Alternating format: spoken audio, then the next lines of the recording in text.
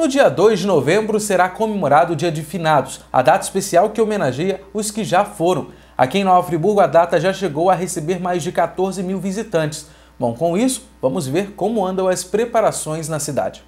Um dos cemitérios de Nova Friburgo é este, o São João Batista, que fica bem no centro da cidade. Os serviços de capina e outros serviços essenciais para receber o público já está quase tudo pronto.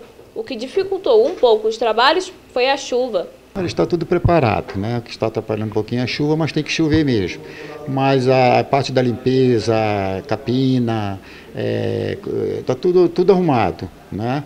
Agora nós só estamos aguardando já os pessoas para a visita. No ano passado, o cemitério chegou a receber cerca de 10 mil pessoas e este ano a expectativa também é grande para a visita dos familiares e amigos dos que já se foram. São cinco cemitérios que já estão tudo preparado para receber o pessoal. Eu acredito que numa faixa de, de 9.500 a 10 mil.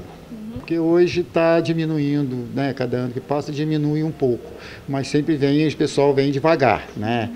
E, mas eu acredito que seja os meses, sempre, né? 9.500, 10 mil que visitam o cemitério. O diretor do cemitério ainda pede para que as pessoas preservem o local. E a gente pede também para as pessoas que nos visitar o cemitério para não deixar seus pertences em cima da, da sepultura, tá? E não jogar lixo, sempre trazer uma bolsa, que nós temos a lixeira, né? E evitar, porque. E até flores também, né? Se for uma flor artificial, por motivo da dengue, né?